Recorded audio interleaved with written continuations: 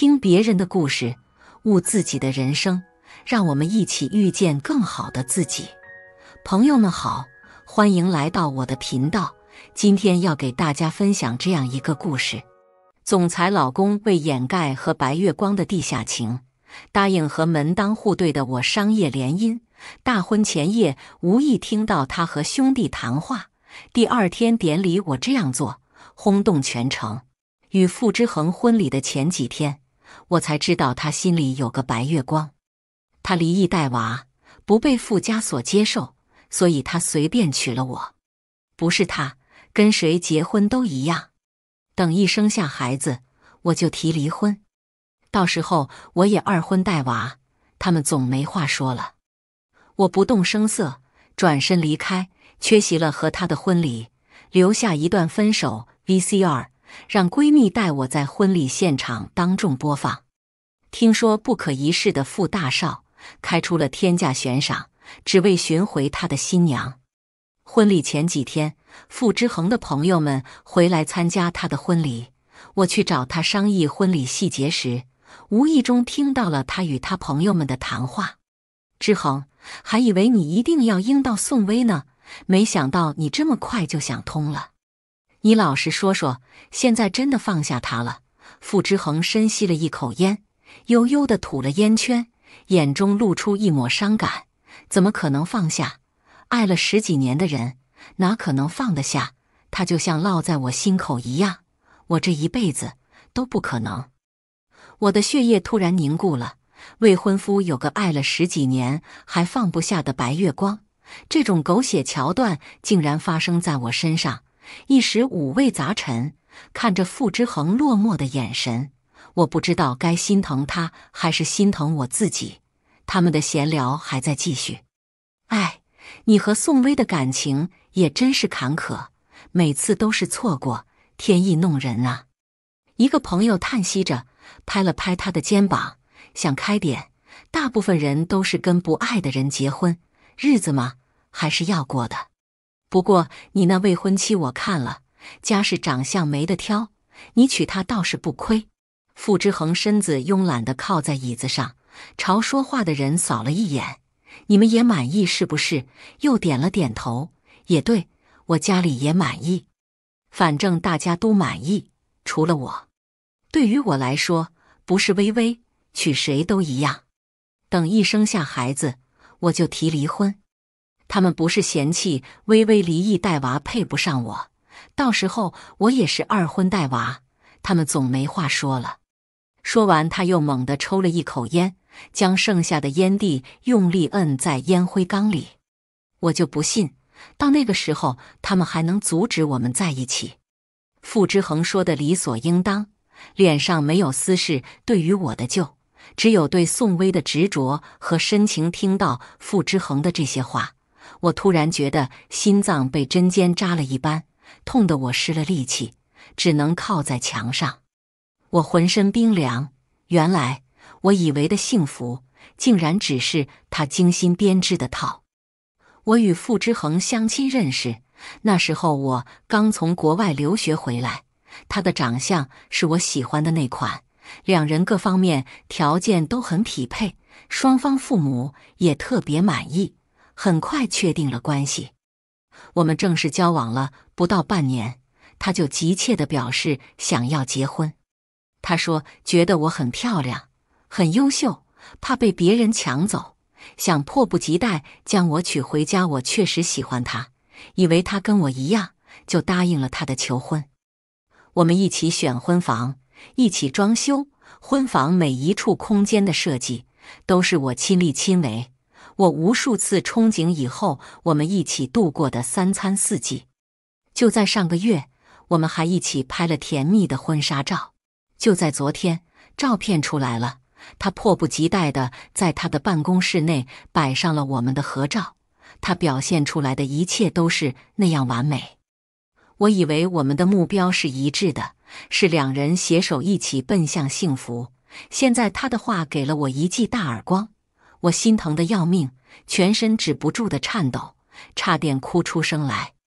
他其中一个朋友叹了一口气，说：“实在的，你现在这未婚妻挺无辜的。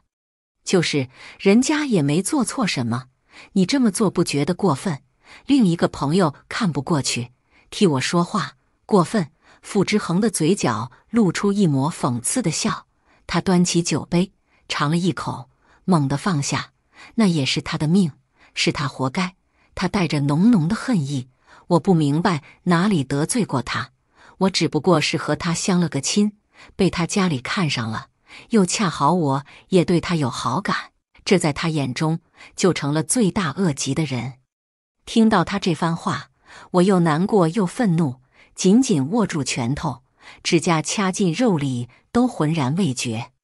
他将所有的错都推到我身上，仿佛他所有的不开心都是我造成似的。可我又何其无辜！之恒，话不要说的太绝，说不定到时候你还真爱上他，舍不得离开呢。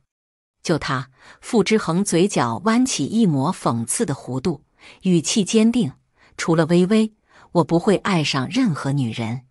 更何况，他在我眼里跟个木偶没多大区别。”傅之恒将腿架到了身前的茶几上，身子懒得靠着椅子。脸上尽是烦躁。算了，不说他了。说完，他的手机响了一声，他拿了起来，眉毛舒展开来。微微也要回国参加我的婚礼，明天的飞机。你就不怕你未婚妻知道你俩的关系？万一他不会知道的，我一直瞒得很好，他从来就没怀疑过我。微微说，还没见过我当新郎的样子。他不想错过我人生中的每个重要时刻。哟，那不错，我也好久没见他了。他这次要待多久？他说看情况，说不定就留下不走了。好啊，之恒，一结婚就要享其人之福。我这不也是没办法？要是可以，我只想和微微从少年到白头。可是命运弄人，什么其人之福？别的女人，我一点兴趣都没有。原来是一点兴趣都没有啊！那为什么又伪装的那么好呢？要是到时候甩不掉简明月，不愿离婚怎么办？不愿离婚，傅之恒挑了挑眉，露出一个讽刺的笑容，薄唇轻启，说出的话却令我如坠冰窖。我有的是办法让他离婚。简明月对家人和朋友都很看重。我随便拿捏他们一个，他就会乖乖就范。他的语气冷漠又笃定，在他心里可能已经演练过千百遍如何对付我、拿捏我。不过你们得替我保密，不要露出马脚。我不想连累微微，让他名受损。我双腿发软，全身抖个不停，眼泪像断了线的珠子，怎么也止不住。我恨不得冲进去撕了他。可仅存的一点理智告诉我不要冲动。我靠在墙上缓了很久，心里拿定主意后，擦干眼泪，转身离开。回到家里，我马上查了机票，订好了婚礼当天去国外的机票和酒店。做完这一切后，瘫在沙发上，回想起我们认识以来的点点滴滴。竟然全是甜蜜，他冷漠又金贵，唯独对我体贴又温柔。我无数次跟朋友们庆幸，竟然在相亲中找到了真爱。我的社交平台上晒的都是我们的交往日常，看着过去的文字，如今只觉得讽刺。因为昨天刚刚将婚纱照发到社交平台，我的主页涌入大量访客，在一众祝福声中。有一条评论比较意味深长，哈哈！男方一副被迫营业的表情。评论的是个名叫“微风等你”的人。有看不过去的网友对他：“你这人见不得别人幸福是吧？明明人家很恩爱。”微风等你回复网友：“等待时间来验证一切。”这个账号有点印象，之前也评论过我的博文和视频好几次。语气有点阴阳怪气，当时没有多想，因为在网上什么人都可能遇到，只要不过分，我也不想上纲上线。看着他笃定的语气以及 IP 地址，我心中隐约有了猜想。点开他的主页，他发的博文并不多，只有寥寥三四条。但是其中有一张照片，是一个男人抱着小孩在游乐场的背影。标题：父子。小孩趴在男人的肩上，笑容灿烂，只一眼我就认出来，这就是傅之恒。评论中有人夸他们，虽然只是背影，但身材特别好的样子。这么有型又带娃的男人真不多了。他也默认了，谢谢。他一直是个好爸爸。这条博文的时间是一年前。我突然想起，一年前傅之恒曾出国了一周，当时他说是去看一个生意机会。我向来给足了他空间，所以没有过多追问。他回来之后，就正式跟我提了结婚的事。他说，在国外的每一天都在想我，他迫不及待想娶我回家。我信以为真。现在想来，只不过是他俩一起商量好了，让我当他们的垫脚石。他主页上最新的一条博文发的是即将回国，并 P 又上了飞机票，好久没回去了，想念国内的他，好期待。我也很期待呢，想必傅之恒也很期待的。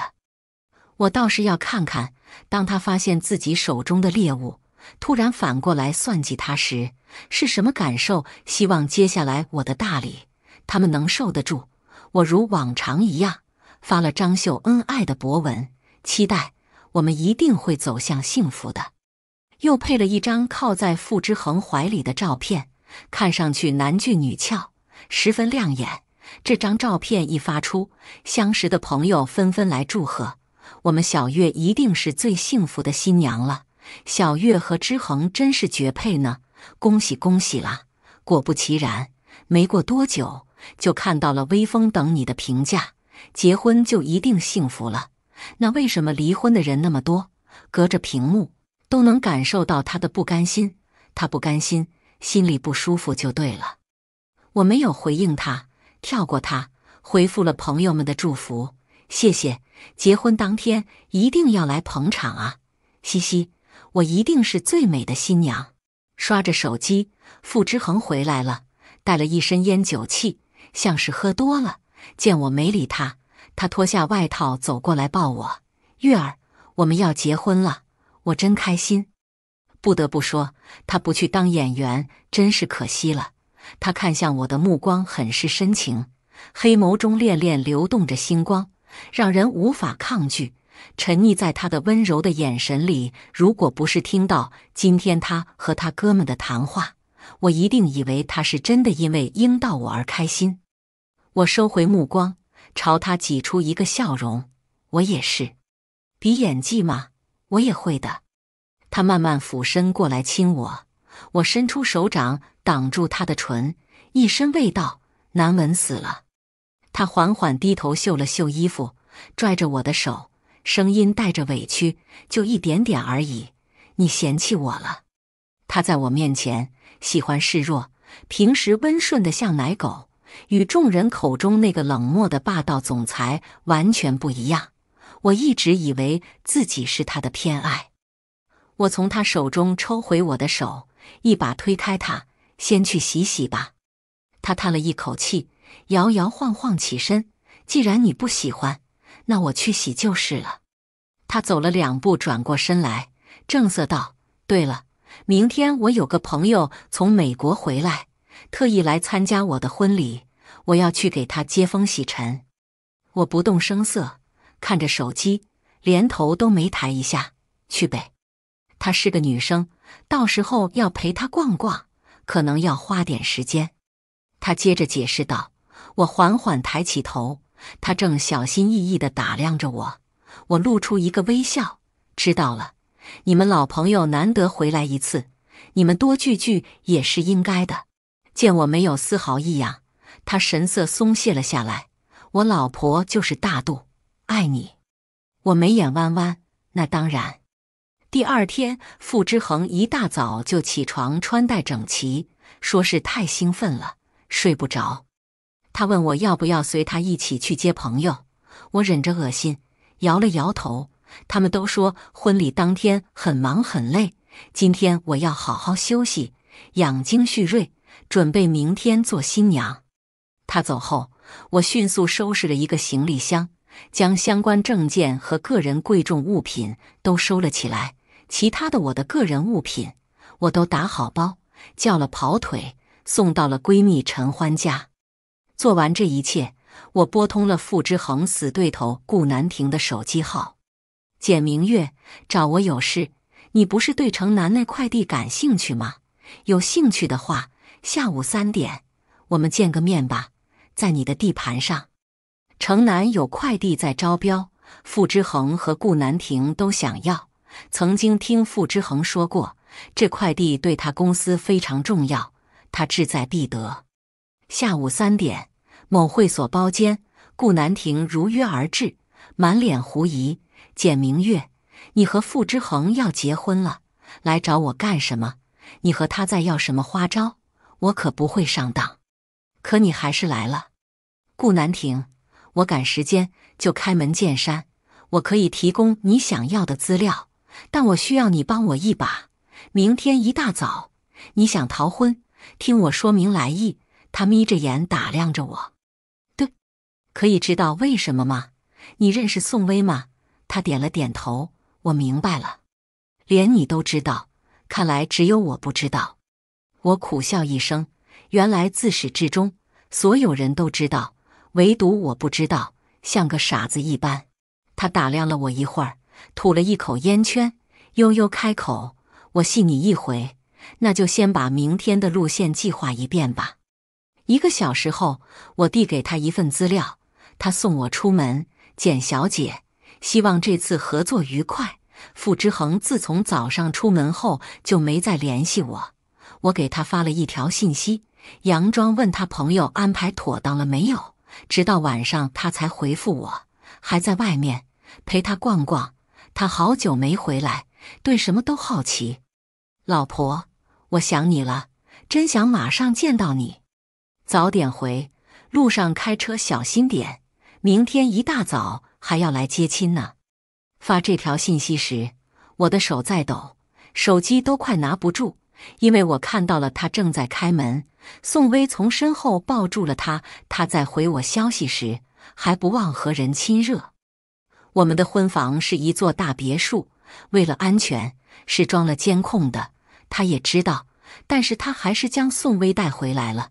他知道我从未怀疑过他，所以他肆无忌惮的直接将他带回我们的婚房。手机切回监控的监控视频中，他和宋薇正在接吻，甚至旁边还有个孩子。尽管早就做足了心理准备。可是看到他们拥抱在一起时，我胸口还是疼得要命。我按住心口，蜷缩在床上，死死盯着监控，大颗大颗的眼泪无声地滴了下来。他们拥着从门口到沙发，吻得难舍难分。我只觉得一阵眩晕恶心，胃里翻江倒海，跑到卫生间疯狂呕吐起来，直到最后吐的都是胆汁，口腔里只剩苦涩。我才停止，简单洗漱了一下，重新返回房间，录了一段 VCR，将傅之恒和宋薇的亲热镜头也一同剪了进去。第二天一大早，傅之恒顶着黑眼来接亲，陈欢是我的伴娘，她看着傅之恒一副无精打采的样子，开玩笑道：“之恒，你一大早这么蔫，昨晚是干坏事去了？”还是兴奋的没睡着，昨晚一直想着迎亲的事，满脑子都想着即将结婚的场景，哪里还睡得着觉？他揉了揉太阳六，强打精神，面色自然，看不出丝毫的心虚。也对，毕竟陪我演了一年多了，演技如今已是炉火纯青。老婆，我真高兴，你终于是我的新娘了。他在我面前跪下来。捧着我的脚，深情款款，亲手为我穿上婚鞋。现场的亲友都在夸我们的恩爱，都在羡慕我们的神仙爱情。月月是嫁对人了，看傅总多体贴。之恒这孩子一向都宠月月，月月快教教大家怎么拿下一个霸总。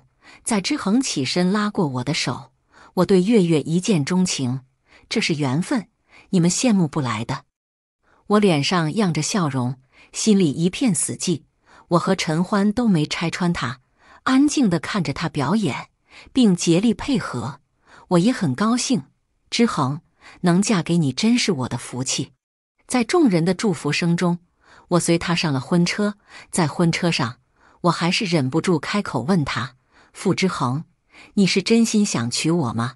他的眼神闪躲了一下，很快调整过来，迎上我的目光，坚定地对我说：“月月，当然，你是我一眼就想娶的女孩。”我心里冷笑一声：“呵呵，是一眼就相中的垫脚石吧？”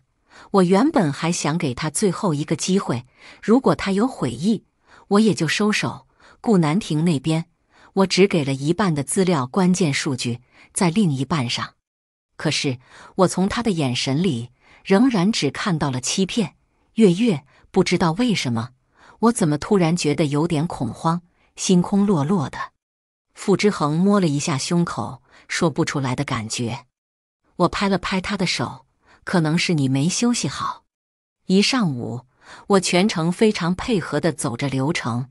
在酒店和他一起迎接宾客时，宋薇一身洁白长裙，奉着他儿子来了。你好，我是宋薇，与阿恒是多年的朋友。你们要结婚这么忙碌，昨天我还让他陪了我一整天。你不会生气吧？看似道歉，实则在炫耀。我扫过他脖子上的吻痕，轻笑一声：“怎么会呢？我从来不限制他的行踪。”别说是你这个老朋友回来了，就是一条狗，我高低也得让之恒带出去溜两圈。我不主动恶心人，只能说我太有素质，不代表我不会。我的话音刚落，只见宋薇脸上的笑意逐渐凝固，一时不知所措，求助般的看向了傅之恒。傅之恒也疑惑的看了我一眼，毕竟一直以来我给他的印象。都是知书达理、温柔大方，从未口出恶言。陈欢接过话茬，笑声爽朗：“就是傅之恒，听说你闲得慌，下次帮我去遛遛我家狗子，要不然老拆家。”好好。傅之恒不想今天闹得难看，脸色像吃屎一样，还是点头应了下来，然后一把拦住我的腰，在我耳边轻声问道：“老婆。”你今天怎么了？没什么，我是在表达我的热情。人狗一视同仁。我面带微笑，没有露出一丝不愉快。傅之恒乘着眉头打量着我，一时也分辨不出我是不是在生气。宋薇悠悠叹了一口气：“之恒，我就知道，昨天让你陪我一天，简小姐不高兴。咋的？让人家新郎在婚前陪了你一整天？”还得上赶着跟新娘炫耀是不是？陈欢看不过去，直接怼了回去。我不是这个意思，就是好久没回来了，不熟悉。我和之恒从小就认识，我没想那么多。他努力辩解，看上去楚楚可怜。现在信息这么发达，宋女士去了国外两年，国内的 app 都不会用了。陈欢是女汉子，最见不得宋薇这种人。请进吧，后面还有宾客。我这个时候不想与他争辩，万一耽误了时间，得不偿失。爸爸，他是谁？宋威儿子刚才被酒店门口的气球装饰吸引了，玩够了才跟上来。见到傅之恒揽着我，他立马变了脸色，指着我朝傅之恒大声问道。众人的目光惊愕的看向我们，宋威漫不经心的朝我笑了笑。阿恒太宠亮亮了，他们感情很好，亮亮也叫惯了。你不要介意。他说的很是轻巧，似乎我只有接受这一个选项。月月，亮亮很可爱，以前我经常带他。你不要跟小孩子计较。傅之恒劝了我一句，上前一把抱起亮亮。亮亮想爸爸了没？想。爸爸，你不要跟这个女人在一起。妈妈说她是坏女人，亮亮指着我，撅着嘴。好，听亮亮的。不过呢，今天我们是在做游戏，所以今天还要在一起的。亮亮不许生气哦。傅之恒哄着小孩，一脸宠溺，不小心把自己的心里话都说出来了。不行，妈妈说了，抢爸爸的都是坏女人。月月，你别生气，他还是孩子，童言无忌。傅之恒面色有点心虚，我睁大眼睛，面露疑惑：亮亮叫你爸爸，难道他实际上没有爸爸吗？宋小姐，亮亮他亲生父亲呢？陈欢也捂着嘴，笑得乐不可支。就是孩子应该不是傅之恒的吧？看着也不像啊。呵呵，也真是奇怪，别人家没教养的小孩，最多也只是随地大小便，你家却随地认爹呀，真是长见识了。陈欢，你闭嘴！傅之恒的脸色沉了下来。陈欢当然不吃他这一套。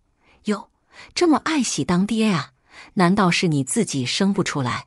我那未来准婆婆见状走了过来，给了宋薇一记眼刀，在傅之恒耳边耳语了几句。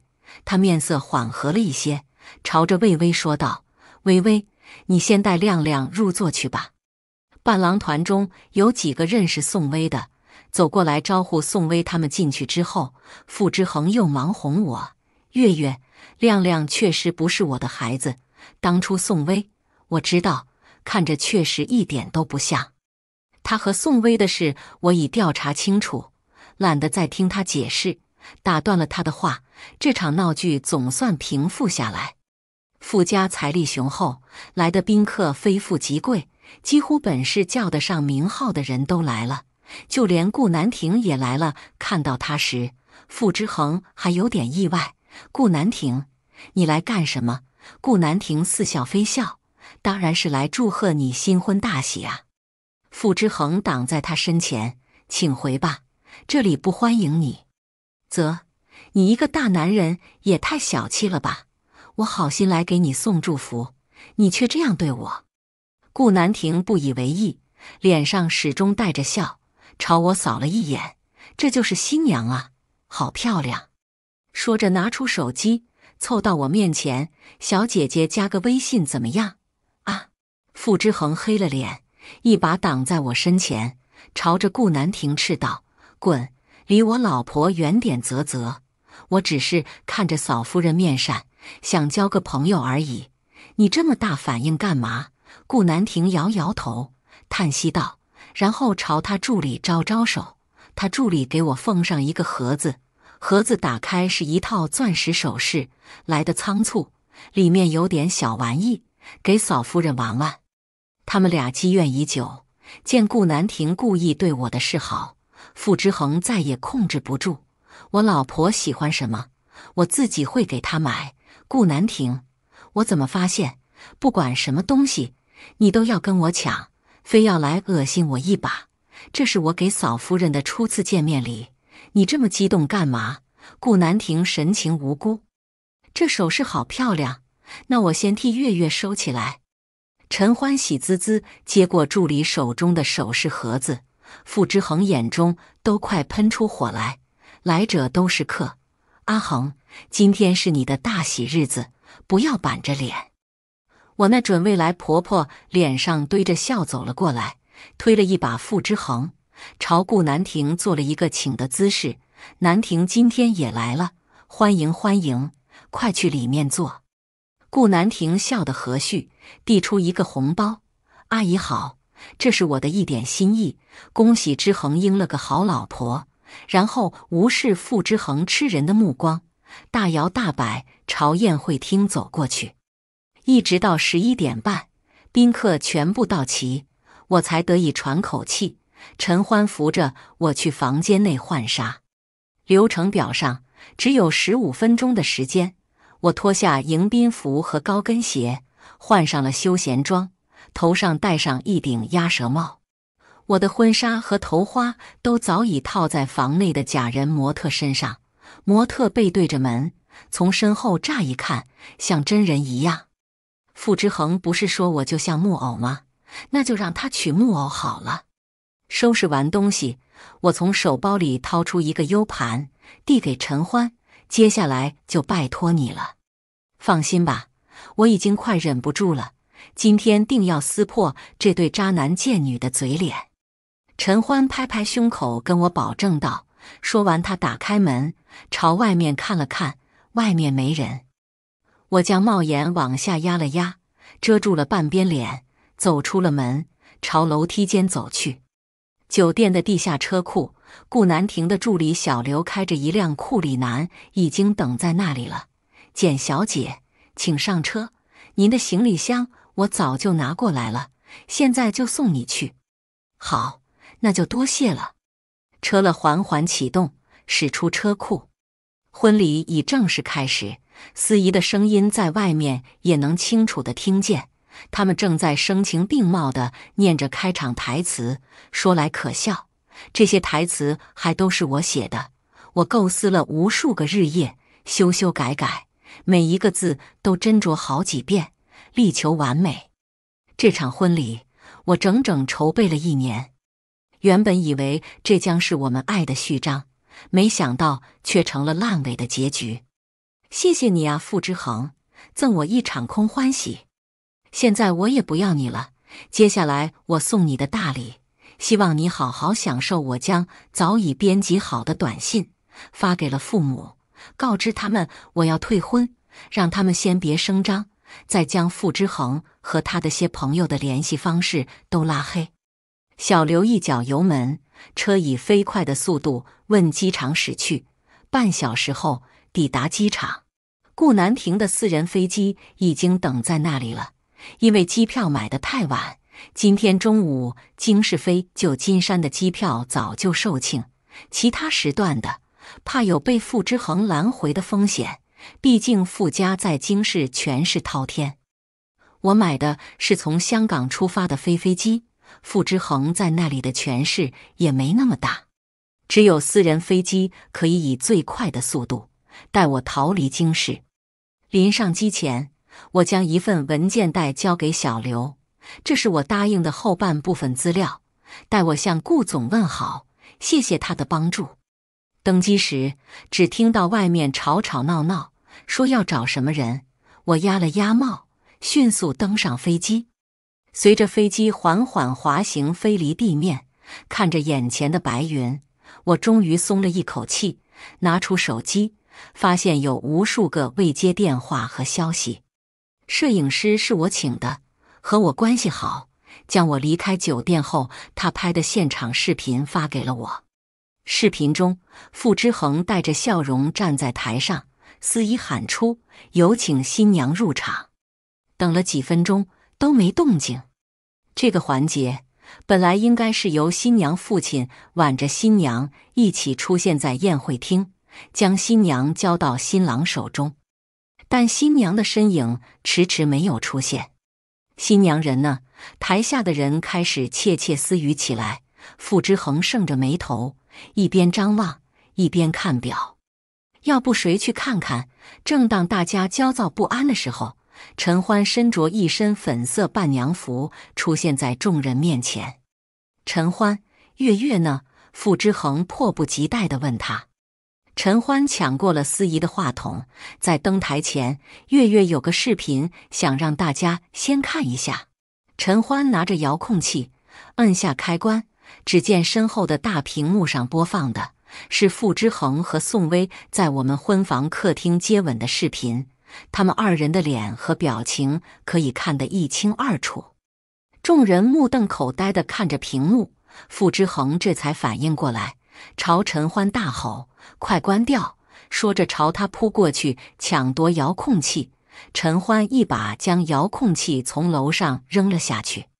音响里传来我的声音：“各位，很抱歉让你们看笑话了。我也没想到，就在我婚礼的前一天。”我的未婚夫傅之竟然带着女人回我们的婚房鬼混，我也是今天才知道，他和我结婚只不过是为了应付父母和遮掩他和宋薇小姐的地下情。既然你们如此恩爱情深，我选择退出成全你们，请你们原地锁死，不要再祸害他人。这个婚我不结了，傅之恒，你太脏太恶心，我不要你了。画面最后映出我哭肿的双眼和苍白的脸庞，我嗓音沙哑，透着悲伤又绝望。不是这样的，月月。傅之恒脸色惨白，他离开宴会大厅，朝着新娘的房间奔过去，他的随从则手忙脚乱去关屏幕。镜头一转，傅之恒来到新娘的房门前，他疯狂地拍打着门：“月月，我们好好谈谈，这里有误会。”可是，一遍又一遍，无人应答。月月，你开开门，听我解释。直到酒店工作人员拿来了钥匙，打开门，映入众人眼帘的是一道身穿婚纱的背影。月月，傅之恒伸手去拉人，只听“砰”的一声脆响，新娘倒在地上，大家才发现这是个假人。简明月，你真是好样的！看着地上的假人，傅之恒狠狠一脚踹了上去，他面色铁青，朝身后的人喊道：“给我去机场！”一定要把简明月给我抓回来！社交平台上有关傅氏和我以及宋薇的新闻八卦铺天盖地，逃跑的新娘傅之恒、宋薇这三个话题高居热榜前三。傅之恒成了整个京市的笑柄，快三十岁的人了，还被他爷爷当着那么多宾客的面用木棒打了十几棒，他被打得一身是血。打完后，傅之恒还站起来，当着所有媒体喊话：“请大家帮忙找回我的未婚妻简明月，提供明确的线索者奖励一个亿，把他抓回来的奖励十个亿。”一时间媒体哗然，全网都在寻找一个叫简明月的人。还好我在来机场的路上，就将所有社交媒体上的照片、视频都设为私密。我们家只是书香门第。在网上没什么热度，网友们也没扒出我过多的隐私，只有几张我的照片。傅之恒开出的奖励高的连陈欢都心动。月月，要不然等你上了飞机，我把你的线索告诉他，我也想挣这一个亿。宋薇被傅家人当众赶走，她名声扫地，有关她和傅之恒的前情往事也被人扒了出来。这女的。我知道他专门攀高枝，我们是中学同学。当时他一边捧着傅之恒，一边又暗暗勾搭江少安。傅之恒家里一直没放权，也不同意，还把他送出了国。他就设计了江少安，最后带球上位。他和江少安结婚一年多就离婚了，生的孩子江家也没认。有没有可能，孩子根本不是江家的？所以才没认。那么问题来了，他生的是谁的娃？也许他自己也不知道。我听说他专门去报了名爱培训班，学成后广撒网。你以为他现在为什么回国？他在纽约勾搭有妇之夫，被当众暴打，混不下去了，又回国找傅之恒这个冤大头。这么说，傅之恒是眼瞎吗？为什么被他这样一个女人要得团团转？只能说他蠢呗，也有可能是宋薇手段高。我到香港后顺利搭上了去旧金山的航班。我本硕都是在加州读的，本来准备毕业后留在湾区创业，但是被父母叫回家相亲，创业的事就耽搁了下来。现在我终于有时间来做我自己喜欢的事了。网络上的舆论越演越烈，听说宋薇走在大街上都会被人指指点点认出来。你就是被傅大少爷带回婚房那个？请问你儿子是谁的？我们一直很好奇。我走后，傅之恒据说没有找宋薇，不知道是傅家给了他压力，还是别的原因，他们也没有在一起。宋薇去了一趟傅家，连门都没进就被赶出去。他像过街老鼠，京市待不下去，美国回不去。听说最后只得去了一个华人稀少的小国避风头。后来傅氏和顾氏争夺京市市中心的一块地，被顾氏以微弱优势胜出，顾氏成功拿下地块。傅之恒因为此事又被家族责罚，被他爷爷直接下放到子公司历练。事后顾南亭为了感谢我。问我想要什么礼物。我想了想，还是谢绝了他的好意。我知道宋薇的老底被揭穿是他在推波助澜，傅之恒也遭遇滑铁卢，这两个结果我都很满意。当时选择和他合作是为了逃婚和报复，现在目的都已达到。我在南湾区一座小城租了一间办公室，拉上以前的两个同学，合伙开了一家智能机器人公司 Robo。这些年，我尽量低调，只和家人以及少数几个朋友联系，再也没在社交平台上露过面。三年后，公司成功在纽交所上市。上市当日，我作为公司创始人出现在媒体面前，接受了采访。有心的网友突然发现 l o b o 的老板竟然与三年前那个逃跑的新娘简明月长得很像。第二天一大早，傅之恒敲开了我家大门：“简明月，你还真会藏啊！所以傅大少，你是想来绑我回去的吗？”我招了一下手，身后数名机器人蜂拥而至。以前他在京市一手遮天。我们家只是在教育界稍微有些人脉，无法与他们富家抗衡，让他觉得可以肆意拿单我。如今我不再惧怕他，我有了足够的底气。呵呵，他自嘲的笑了笑，面露哀伤。三年没见，你还是把我当仇人，简明月，我就那么让你憎恨吗？如果我说我这三年一直在找你，一直在想你。你愿不愿意再给我一次机会？他红了眼，低声哀求我。他找了我三年的事，我也知道，但是我们从一开始就是个错误，是他别有用心的利用，我又如何能原谅他？是我承认，我一开始是想着随便娶一个人，等生下孩子就离婚娶宋薇，但是和你从头到尾，我都是心甘情愿的和你在一起。我每天都很开心，娶你也是满心欢喜。在你之前，我也相亲过很多次，甚至有人主动贴上来，不介意我在外面有人，我都拒绝了，因为点都不喜欢。是我的执念毁了我自己，也毁了我们的感情。年少时心心念念，一直错过，我以为那是真爱，直到你离开，我才发现自己错的离谱。月月，我现在心里只有你，能不能再给我一个机会，我们重新开始，好不好？我摇了摇头。傅之恒，我们回不去了。你伤害了我，我也报复了你，我们俩扯平了，以后再见面就当个点头之交的熟人吧。我做不到，对不起，月月。我也想忘记你，可是这三年来，我没有一天不想你。说着，他就过来抱我，被我身边的机器人挡在身后，他连我的衣袖都没碰到。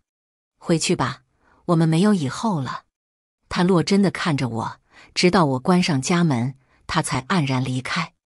我曾经全心全意爱过他，至今仍然记得和他在一起时的心动。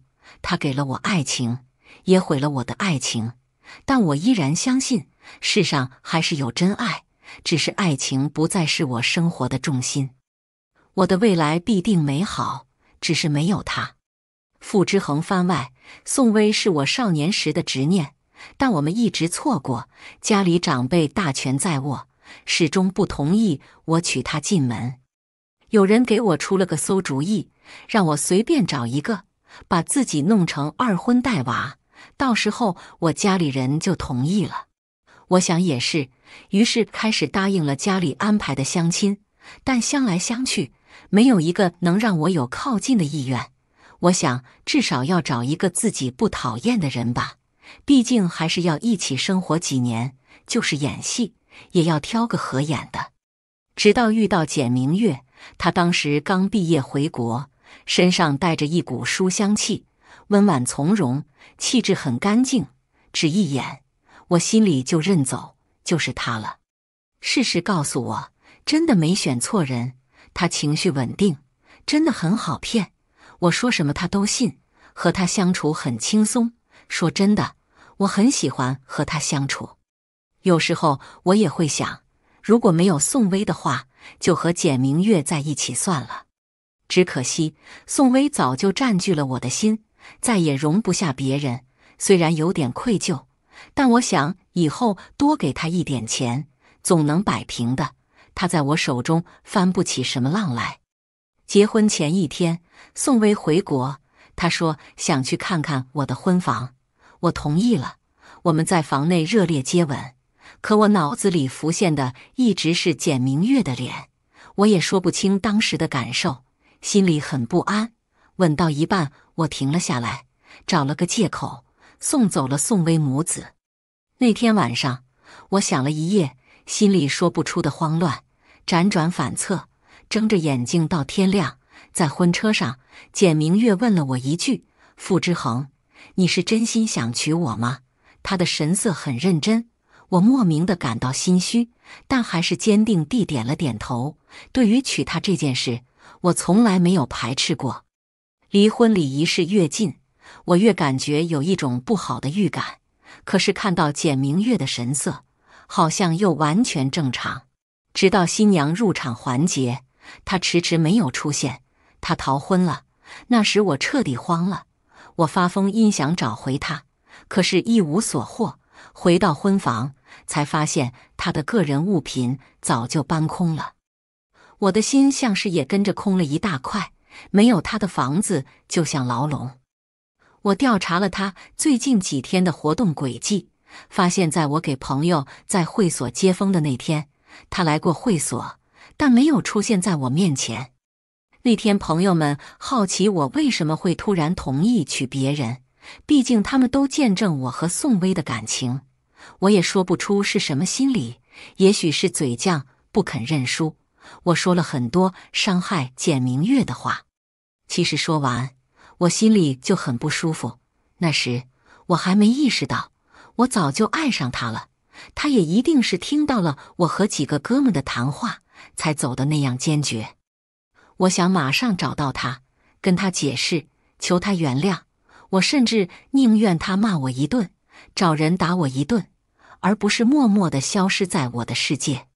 他走得很决绝，家里什么都没留下。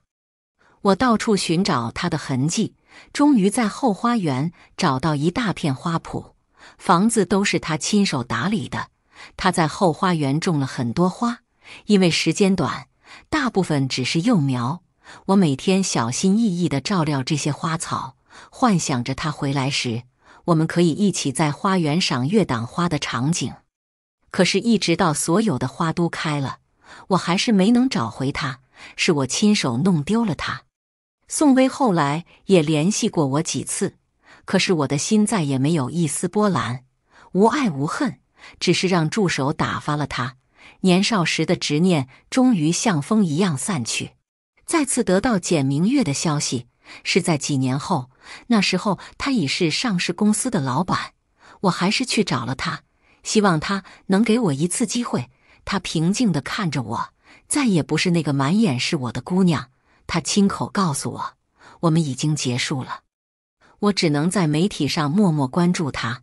他过得很好，一生都很精彩，只是不再有我。今天的故事就分享到这里。愿你的每一天都充满阳光和欢笑，每一步都走得坚定而有力，让过去的成为美好回忆，未来的充满无限可能。祝你幸福安康，万事如意。同时欢迎您留言、订阅、分享，我们下期再见。